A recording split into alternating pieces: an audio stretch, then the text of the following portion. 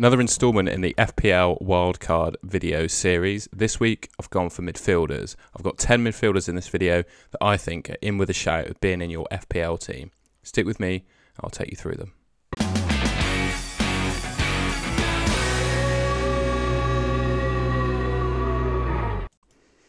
All right, first up, I don't think is any kind of major surprise. I've gone for Mo Salah. Um, He's got a great fixture run from 17 to 22 there. He's been fully rested during the World Cup, so he's going to be absolutely bang up for it returning to the Premier League. I expect him to start pretty much all of those games. In fact, I expect him to start all of them, and he'll likely play 90 minutes as well even though obviously his performance this season has been overshadowed by Haaland, I still think his numbers are pretty good. He's got 0.66 expected returns per 90, and it's broken down by goals and assists, as you can see there. And I just think with the World Cup rest, he'll be right bang up for it for um, for the start of the, the restart, basically. Um, and another thing to note about Salah, actually, and I didn't realise this, he hasn't taken a penalty for Liverpool in the Premier League this season. So all of these goals and assist stats are purely non penalty. He's not had a single penalty this season. So, yeah, could get a few penalties in amongst those, those six fixtures you see there. And yeah, hopefully back amongst the points is Mo Salah. And yeah, I think he's always an option for your FPL team just based on his historical performances alone he's still the same player that put in those those points figures of previous seasons. And I think this year, certainly after Boxing Day, it'll kick on and score loads of points for you. So Mo Salah definitely worth a go in your team. So the next player on my list is a very much a like-for-like replacement for Mo Salah. Basically, um, comparing the two, I think De Bruyne probably has the better fixtures purely because he's got a double game week in 20. Really, I think the the opposition is slightly easier for Salah, but obviously De Bruyne has that double game week in 20 factored in.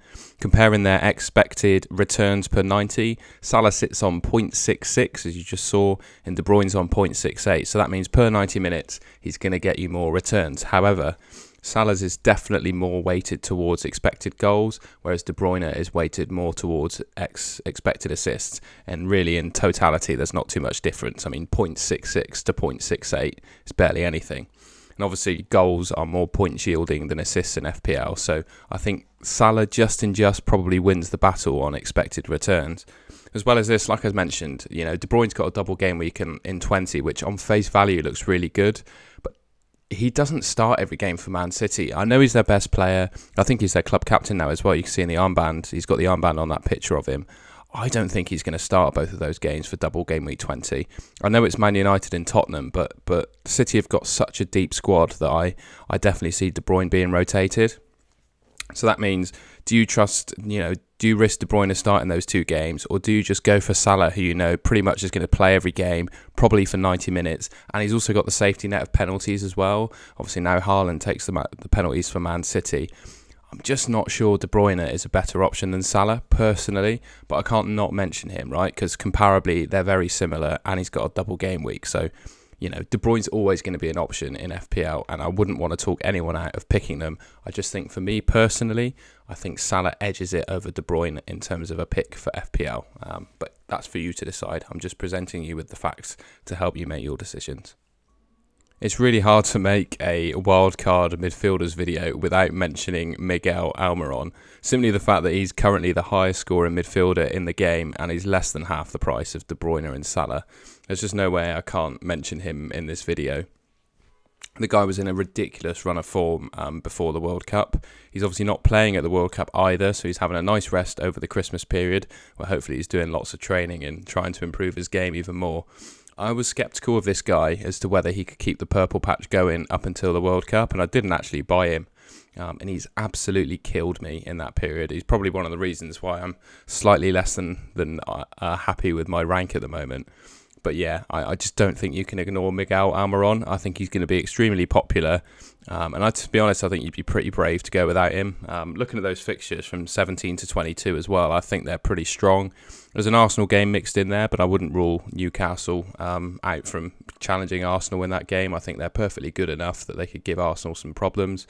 And yeah, Almiron's stats are off the chain. So 0.57 goals per 90. That's up there with Salah and, and higher than De Bruyne's numbers. Obviously, he's the highest scorer mid in the game, so of course they're better. Um, I just don't think you could ignore the highest scorer mid in FPL for 5.8 million. Now, next up is a man that's currently challenging for the Golden Boot at the World Cup, and that's Marcus Rashford. I think quite a few cottoned on to the fact that he'll be playing up front um, towards the end of the period towards the World Cup and uh, gain some points from him. But I think in the period after the World Cup as well, he's looking like a really decent option. Man United have got some really good fixtures there. Um, and I know you can see there that Man City and Arsenal mixed in, but Rashford has a pretty good record against the likes of Man City and Arsenal. And like I said, I think his style of play suits the bigger sides. We know that Arsenal and Man City like to play a high line and that's where Rashford really manages to exploit defences, where he can sit on the halfway line against a defender, sprint in behind, get a long ball played to him by someone like Martinez or Fernandes, and then go through and score. That's Marcus Rashford's bread and butter. So I wouldn't want to let those fixtures put people off. In fact, I'd likely definitely start him against Man City and Arsenal. And then looking at the rest of the fixtures, you've got Forest, Wolves, Bournemouth, and Palace. I think that's a really nice fixture run for him. Now, with Ronaldo leaving, obviously Martial does appear to be the first choice centre forward at United when um when Ronaldo's obviously not there. He's he's gone now. So he does still have a chance of playing up front. I think he'll probably be replaced in that position by Martial, but I think he's going to start based on his form. Jadon Sancho looks to be out of favour for United at the moment albeit he is working on like an individual training plan to try and get him back up to speed. Um, but I do think that Rashford has probably earned himself a place in the United front three alongside Antony and Martial, not to be confused for the same player, obviously the right winger from Brazil. Um, and yeah, I, I think Marcus Rashford is looking really good, just in terms of underlying numbers as well. His expected returns per 90 sits at 0.54, which is really close to the likes of Salah and Kevin De Bruyne, who are much more expensive. I think just for those numbers alone, he's probably not been taking his chances either. I think his numbers at the moment are lower than his expected goals, and he's looked red hot at the World Cup. I think he's found his goal scoring form back. Hopefully, he carries that across to United in the period after the World Cup, and hopefully, he makes it into your FPL team too. This guy, Bukayo Saka, is currently in my FPL team. Um, I just don't think you could ignore what he's done this season so far. The fact that Arsenal are top of the league and he's not, they don't really have a talisman to Arsenal, but I think Saka is probably as close as you can get to a talisman. I also think the fact that Gabriel Jesus is now being confirmed out for three months, I think that ever increases Saka's importance to the team, which I think will only increase his attacking output. Looking at that run from 17 to 22, I'd say it's a decent fixture run. What makes it great is I haven't shown it in this picture, but in double, they've got a double game week in game week 23 thing with Saka, you don't have to worry about him being benched. He's a pretty sure starter for Arsenal and he takes their penalties. He's got 0.57 expected returns per 90, very similar to Rashford, who we've just looked at, who, of course, was very similar to Salah and Kevin De Bruyne. Saka's significantly cheaper than Salah and De Bruyne, and he's yeah obviously still a starter and he's on pens so he's got 10 returns in 14 premier league games which i think is excellent. I mean if you pick a guy that returns 10 out of 14 games i think you'd be pretty content with him i'm very happy to pay 8 million for him too. And those are the underlying numbers there. I just think saka's a great option. He's going to be the talisman really for arsenal when jesus is out. The fixtures are nice. He's got a double in 23 he's on penalties i think he's a great option for your fpl team all right, just a pre-warning, this video is going to be a little bit Arsenal heavy. Um, next up, we've got Gabriel Martinelli, as you can see there. Similar reasons, really, for, for Saka being picked. He's got great fixtures and a, a hidden double in 23. One thing I would say, and it's the reason he's cheaper than Saka, really, is that now it, I think Smith Rowe is expected to be back after the World Cup. So Martinelli does have a bit of competition in his position, but I think it's his place to lose as far as I'm concerned. You know, he's absolutely banging the goals in before the World Cup, playing really well for Arsenal. He's definitely first choice for that that position on the left. The underlying numbers are really good. Again, not quite up there with Saka, but I think it justifies the price that he is. Um, and with that great fixture run, I think he's a great option in your team. Really, I think if I was um, if I was trying to buy a midfielder and I didn't already own Martinelli, I'd wait for the next option on my page. But I think this is more for managers that have had him since the start of the season, gained a lot of value from him. I don't think he's worth selling. Um, I think you just hold him based on the fixtures, the fantastic stats that he's got, and the fact that he's still first choice in his position. I think he's a great keep in FPL. Now, as I mentioned, the next Arsenal midfielder is Martin Odegaard. So, looking at the underlying numbers, he, they are actually slightly better than Martinelli's. He's got 0.35 expected goals and 0.22 expected assists, 8 returns in 13 Premier League games. it's very close. Martinelli has seven returns, 0.23 expected goals, and 0.23 expected assists. So Martinelli is slightly below Odegaard in terms of underlying stats, and he's 0.4 million more expensive. Another thing to consider with Odegaard as well is that he's now the Arsenal club captain, which would make me think that he's pretty much nailed to play every game. Whereas there is a slight risk, I think certainly returning from the World Cup as well, is that Smith Rowe might start some games ahead of Martinelli. Whereas for Odegaard, obviously he's not gone to the World Cup, so he's going to be rested. I think the fact that he's club captain for Arsenal, he's going to play every game. So yeah, I think he's probably slightly more nailed than the Martinelli now.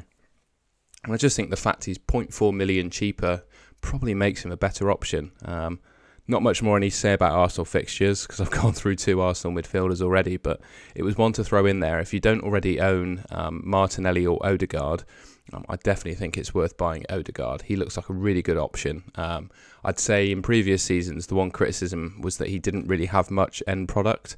I think that's gone away now. The fact that he's got eight returns in 13 Premier League games, I think, sort of shuts the critics up really, and he really has grown into that captaincy role for Arsenal. So, I think Odegaard. is a good option, and you should definitely consider him for your FPL team. And then finally, just a page of honourable mentions, really. First one is Phil Foden. Um, he's always going to be an option in FPL. It's just whether you're brave enough to play the pep roulette, really. I don't think he's as strong as Saka, personally, as a long term option. Just think Saka's completely nailed. He takes the penalties. I think that just makes him a better option than Foden.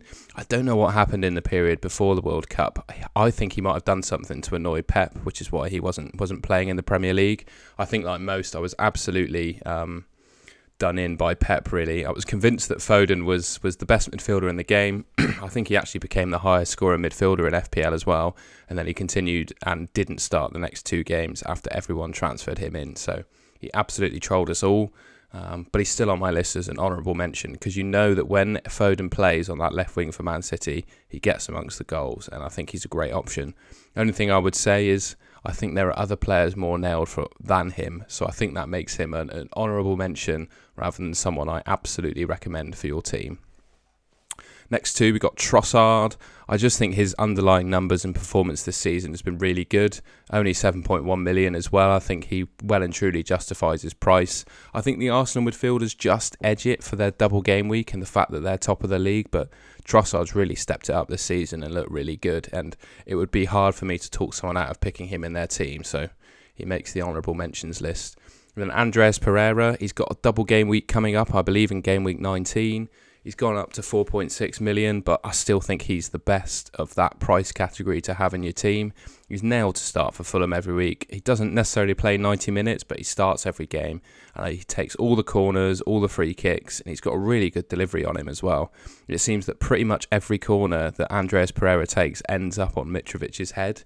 It's just a case of whether Mitrovic can direct it into the goal or not. So he's looking like a great option. Unfortunately, whenever he's been in my team, he's done nothing and then whenever I've benched him, he's scored points. He's absolutely done me in this season, but regardless, I think he's a great option for your team. I think I'll be picking him still for as my bench option um, for the midfielders, and yeah, I, I still think he's worth having in your team. Well, that concludes the video. I hope you found that useful and enjoyable. Quick run through of some FPL midfielders that I'd recommend.